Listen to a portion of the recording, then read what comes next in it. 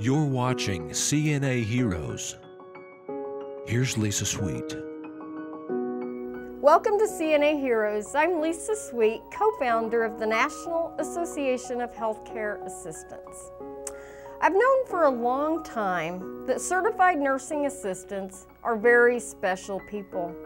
They do so much for those they take care of, bathing, feeding, repositioning, ambulating, and toileting. They are the stewards providing physical care for so many others. However, what can take a CNA from good to great is the ability to listen empathetically to the patients or residents. You see, CNAs don't just take care of the physical body, they also support mental and emotional health through their compassion and active listening. While doctors and nurses complete their exams or assessments and leave the room, CNAs are present. Nursing assistants spend the most time with the patients and residents they serve. They are experts at gaining trust and respect from those they care for. This skill of compassionately and actively listening should never be discounted. Emotional health and well-being contributes to the healing process. This is one of the reasons I admire CNAs so much. They show up and they listen to the residents or patients. Thank you, CNAs, for this. Don't ever lose sight of your importance in this role. Which brings us to today's CNA hero.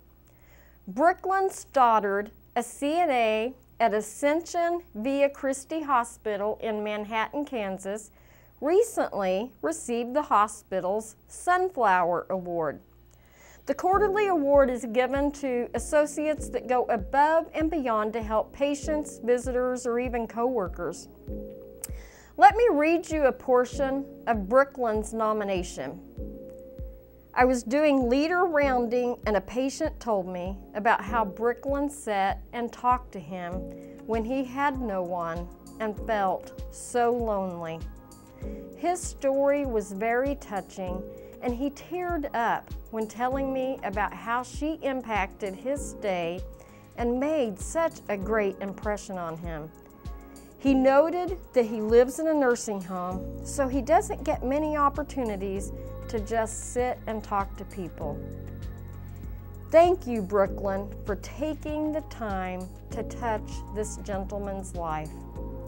Loneliness is real and can so negatively impact one's health. Brooklin took the time to listen to her patient, making him feel supported, comforted, and worthy during his hospital stay.